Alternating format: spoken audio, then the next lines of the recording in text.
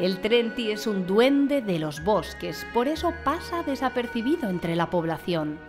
Pero si estás en silencio, igual puedes oír un leve tintineo que hacen cuando se mueven. Se alimenta de panojas y endrinas y bebe leche, pero no agua, que es veneno para él.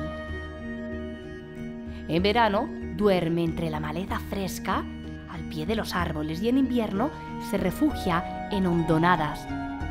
Es muy bromista y le divierte esconderse entre los bardales al oscurecer para pellizcar las pantorrillas o tirar de la falda de las muchachas.